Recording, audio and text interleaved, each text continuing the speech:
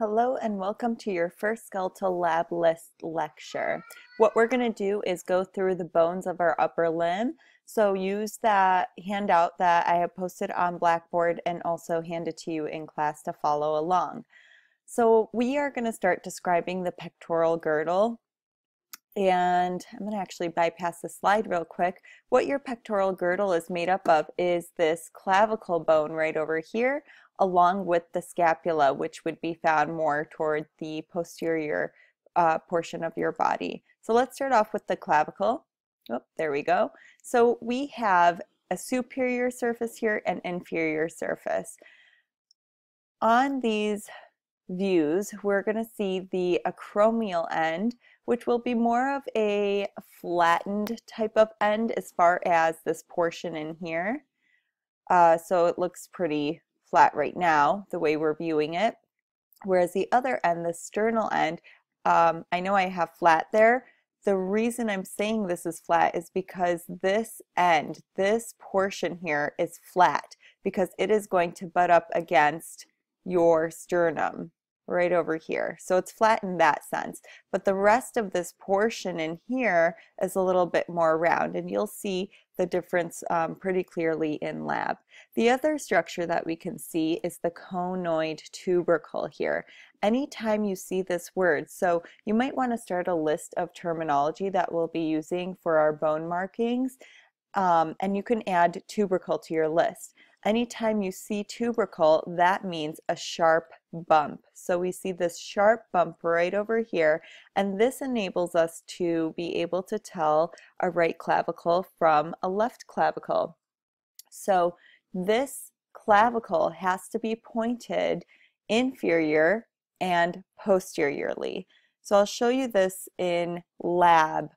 Um, and the other thing we have to do to tell a right and left uh, clavicle from one another is making sure that our acromial end is facing laterally and our sternal end is facing medially. So again, more on this in the cadaver lab, but there's our sternal end meeting up to the sternum and the acromial end, which is named so because it is meeting the acromion, which sits right behind this arrowhead here, acromion of the scapula. So moving into the scapula, our scapula is really in the shape of a triangle. So we have three sides and three corners or angles. So our first border that we'll talk about is this medial or vertebral border. We call it the vertebral border because lying right here in between your shoulder blades, you would see the vertebrae. So this is something that we can palpate on ourselves. So when we're in the cadaver lab, we'll of course see all these different structures on the actual cada cadavers, but we can also palpate them on one another. The other border we have is the lateral or axillary border. And of course, this is on our lateral side, but also it's heading toward the armpit. This bone over here is the humerus, which is the bone found in the arm. So again, headed to the armpit region, which would be right here, the axilla.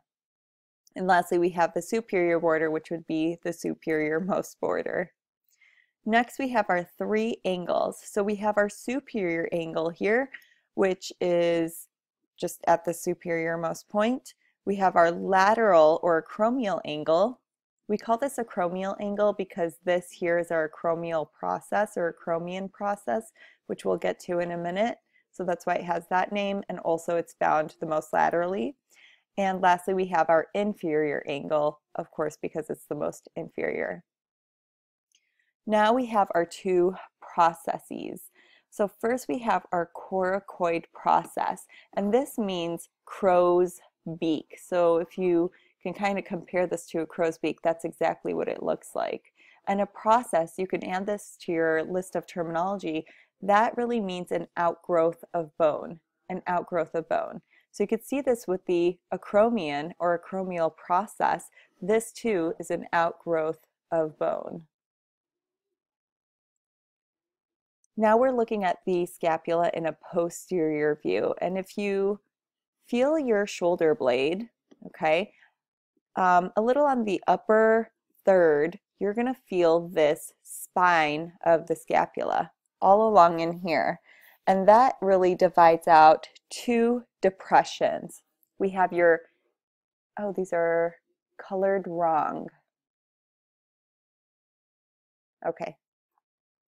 Well, let me pause this and correct it so there's no confusion. Okay, back to this. So that spine of the scapula, if you feel above that ridge, you are going to hear your supra spine, you're going to feel your supraspinous fossa. Now add fossa to that terminology list because fossa, sorry, my dog's barking in the background.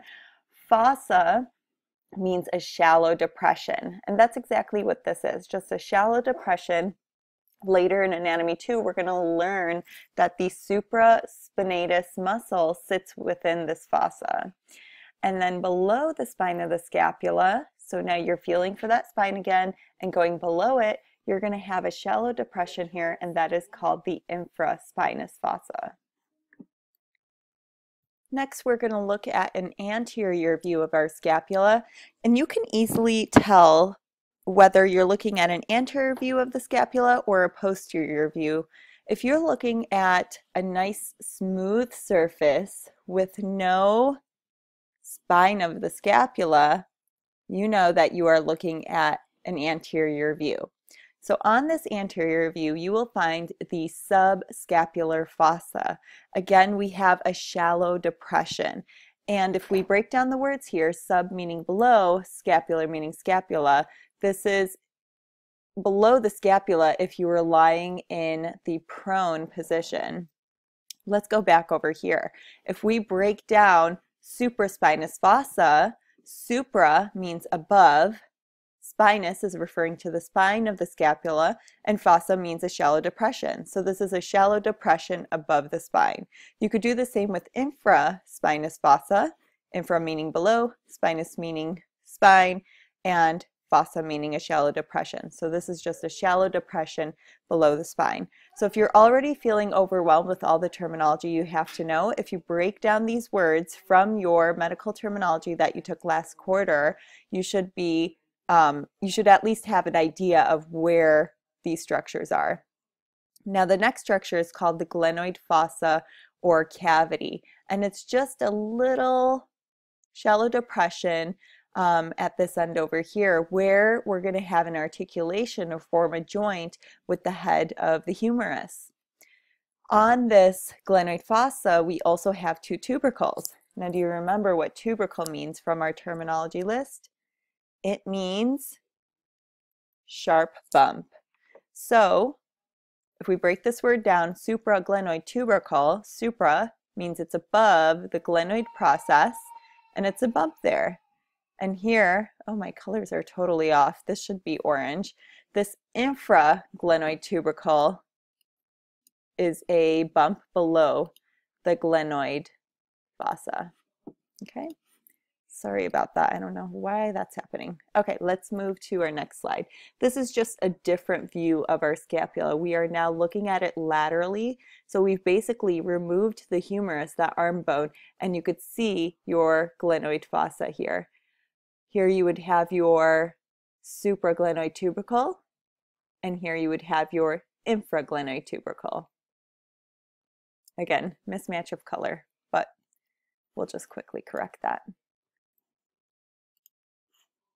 All right. All right, so let's move on into our humerus. And I'm only showing you a proximal view of the humerus, um, but we'll see a distal view in a moment. So when we look at our humerus, you see this spherical portion of it, and that is our head of the humerus. Remember, that is forming the shoulder joint along with that glenoid cavity of the scapula. Now, you'll see these two dotted lines here. We have one up there and one below. This is a natural um, constricted portion below the head of the humerus. So we're going to call this the anatomical neck.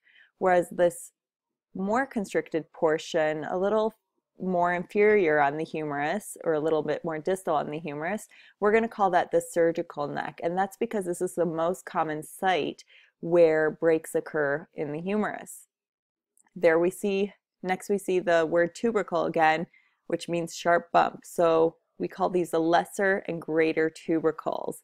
greater because it's larger, which will be more laterally posterior, and your lesser tubercle will be more anterior. Now each of these tubercles create a crest moving on down. So it's a little bit difficult to see in this 2D mode that we have going on here, but we'll be better able to see this in the cadaver lab. And there's our crest of the lesser tubercle. Crest, you can add this to your terminology list. It's more like a ridge. So from that bump, we get a ridge that's created. And if we have two ridges, one with our greater, one with our lesser, we are going to have a groove created in the middle here. So we call this the intertubercular sulcus. Inter meaning between, tubercular referring to our tubercles, and sulcus meaning groove. So this is the groove in between the two tubercles and their crest too, but that's not in the name. Now the last part we can see here is our deltoid tuberosity. Now this word tuberosity looks very similar to tubercle, but it's a little bit different type of a bump. This is more of a perforated, rocky type of bump. Um, and I'll show you the difference in lab. And it's called the deltoid tuberosity because our deltoid muscle, which I'm going to jump to this picture to show you what the deltoid muscle looks like. The deltoid muscle here moves on down and inserts into that part of your humerus. So it's right down in this region. If we jump back to that image, let's see, over here, you can see it's in a similar location. So deltoid muscle would be right in this region, inserting right there at the deltoid tuberosity. Now we have our distal portion of our humerus. So a lot of people get um, these terms, epicondyle, supracondylar ridges, and condyle mixed up. So I'm going to kind of clarify it for you. Actually, let me look at my next. Okay, I think I took this one out of your list. But I'm going to explain it anyway. So I'll have to erase this in a moment. Let's see, what color don't we have there? I'm going to use yellow. So you'll see these dotted lines here at the distal portion, and this is dividing out our lateral condyle. So that's all of this portion I'm kind of coloring in yellow, separating our lateral condyle from our medial condyle. So all of this portion is known as the medial condyle. Now, on our medial condyle, and lateral condyle, we have other structures listed here that we can find within those condyles. And add this to your terminology list. Condyle means knob, like a doorknob. Okay, so let me see how to get rid of this. Okay. So on these condyles, we can also have epicondyles. Epi means upon or on. So this is just a mark on the condyle. So I've zoomed in here for you to see a little bit better. Here's our lateral epicondyle, and this is our medial epicondyle.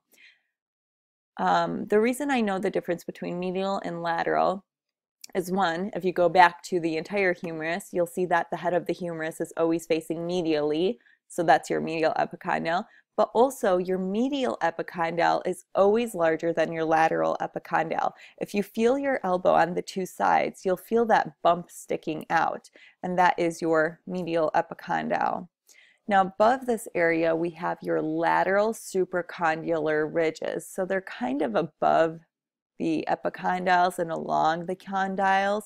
So this would be your lateral supracondylar ridge, and this would be your medial supracondylar ridge.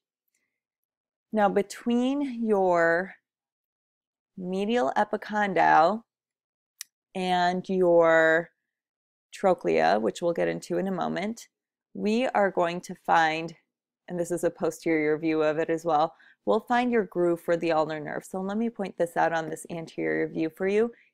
Your groove for ulnar nerve would be right over here. It kind of hugs around this medial epicondyle and it wraps around posteriorly. So this is where your ulnar nerve is coursing. And when you hit your funny bone, you are compressing your ulnar nerve that courses through this groove against your medial epicondyle. Next, we have your radial fossa, and this is found on your lateral condyle. It's just a little depression, shallow depression, where the head of the radius is going to move into. And next to it on the medial condyle, we will have your coronoid fossa. And this is where your coronoid process on your ulna, which we'll get to in a minute, is going to articulate with when you have your elbow inflection. Okay, your forearm inflection at the elbow, more correct way of saying it. Below these fossa, we have two other structures. We have your capitulum, which is nice and round. The word capit always refers to head. So right here, we have a head-shaped structure, and that's why it was named so. The head of the radius will rotate around the capitulum and articulate with the radial fossa. Whereas on our medial side, this is our trochlea, and the trochlea was named after spool. So this term means spool. Um, I always think it looks kind of like a bow tie, and when you wear a bow tie, you choke someone. So troch, choke, I don't know. It makes sense in my head. Um, hopefully it does for you too. So anyway, this trochlea is found on that medial condyle and the ulna is going to rotate around this trochlea and that coronoid process of the ulna will articulate with the coronoid fossa. Okay, this is getting a little wordy, but once you practice using these terms, it'll just roll off your tongue. Now, when we, when we look at a posterior view of the distal humerus, we see a big, shallow depression here, and that is known as the olecranon fossa. And this too is going to allow the ulna to rotate around this trochlea and we will have the olecranon process articulate with the olecranon fossa. And that olecranon process is your elbow. So if you're touching your elbow right now, that's the olecranon process on your ulna. And when you extend your forearm at the elbow, so I want you to um, extend your arm out to touch the screen, that olecranon process is moving into the olecranon fossa. And here's what I'm talking about. We have pictures of the radius and ulna here. So this radial head is going to rotate around the capitulum, make contact with the radial fossa, and our coronoid process and our ulna will rotate around the trochlea and make contact with our coronoid fossa. And if we look at a posterior view, you see this arm is in extension at the elbow. So we have the olecranon process making contact with our olecranon fossa. So let's look at these bones in detail. First, we'll look at the radius. This hockey puck disc-shaped structure up here is the head of the radius. The constricted portion below is the neck of the radius. radius. And below that area, we'll see a roughened perforated bump, and this is a radial tuberosity.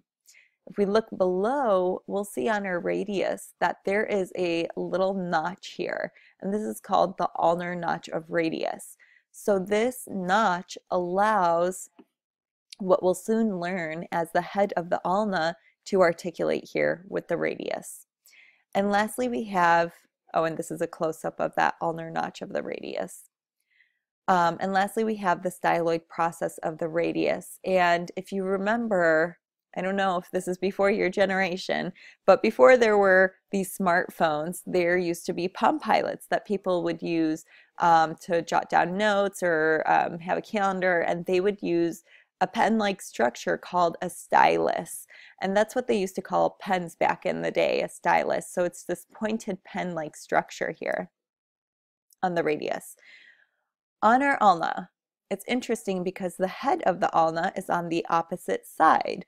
So if you have any siblings, maybe you did something similar, but whenever we went on vacation or had sleepovers, my sister and I would share a bed.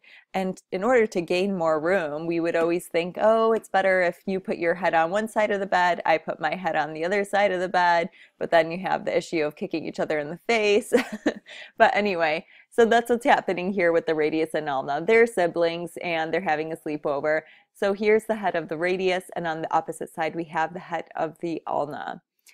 Now if we look at this proximal portion, we have this olecranon process and coronoid process. And this almost looks like a snake opening up its mouth to me. So I always think of the lower jaw as being that coronoid process and the upper jaw being the olecranon process. We also have a radial notch of the ulna. Oh, I skipped that one. Let's see. My animations are off. There's my radial notch of the ulna, and this time this is more proximal. So there's a little scoop here that allows the head of the radius to make contact and articulate with the ulna. This other structure in blue is perforated and that is called our ulnar tuberosity. You can see that it looks very similar to our radial tuberosity over here. Okay, and lastly we have the styloid process of the ulna, which is also a pen-like structure and this can be palpated as well. Okay, now we get to our carpals, which are in the wrist. We have eight carpal bones, and we list them on a proximal row and a distal row. Now I have this mnemonic here that is used by almost every medical school. Some lovers try positions that they can't handle. A little racy there. But each of these letters stand for one of the carpal bones. So some is for scaphoid. I almost picture like a little S in here and um, it's quite a large carpal bone too, so it stands out. Next we have lovers for lunate. Lunate is referring to a moon. So this is kind of uh, like a crescent moon. If you were to remove this out of these carpals, you would see a crescent moon shape. Next we have triquetrum or triangular, and this is triangle in shape if you take this um, out of articulation. And lastly in this row, we have the pisiform bone, um, and that you can palpate as well. I will show you how to palpate this in lab. And this is also a sesamoid bone. That means that it is encased in tendon. Um, so kind of sits up a little bit more than the other carpals. In our distal row, we have trapezium. I remember this one because I always think trapezium is by the thumb. So this is digit number one, which would be our thumb. Next, we have trapezoid, which is shaped like a trapezoid. Less, uh, second to last, we have capitate. And remember, capit means head. So this looks like a little head. I think of a little skull in here, and it's the largest of our, all of our carpal bones. And lastly, we have hamate, which has a very distinctive hook to it. Let me get rid of the shading, a little hook to it, so that stands out as well. So those are your eight carpal bones. If we look beyond that, we can see our metacarpals. And our metacarpals we can uh, we have sitting kind of within the palm of your hand or the dorsum of your hand. Um, we do have muscle in this area too, so you can feel these metacarpals better on the dorsum of your hand. So each of these metacarpal bones, one, two, three, four, five, is broken down into a base, body, and a head. Beyond that, we have our phalanges. So um, before I get into this, we have three different types of phalanges. So I want you to focus in on one finger here. So this would be our proximal phalange, this would be our middle phalange or intermediate phalange, and this would be our distal phalange. Okay, so each of these two have a base, body, and head. Base, body, and head, base, body, and head. So there's proximal phalanx, middle phalanx, and distal phalanx. Notice how digit number one does not have a middle phalanx. Okay, so here would be the base of a proximal phalanx, a body of a proximal phalanx, and a head of a proximal phalanx. So the way that I could ask you this on your practical exam at the end of the quarter, I will have a hand bone there, mark a structure like I did here, and I'll have this listed out for you and you have to fill out the blanks. So the blank of the blank phalanx of the blank digit of the blank hand. So we would fill this in with first we have to look and see is this a base, body, or head? So you always start small and build big. So base, body, head. This is a head. So we would put head there of the blank phalanx. So we have to figure out is this proximal, middle, or distal phalanx? This is proximal, middle, and distal. So we would put proximal there and figure out what digit it is. This is our second digit, okay? And then lastly, this is the right hand, okay? So that is it for your Skeletal Lab List 1 screencast. Let me know if you have any questions, and I will see you in the Cadaver Lab on Thursday.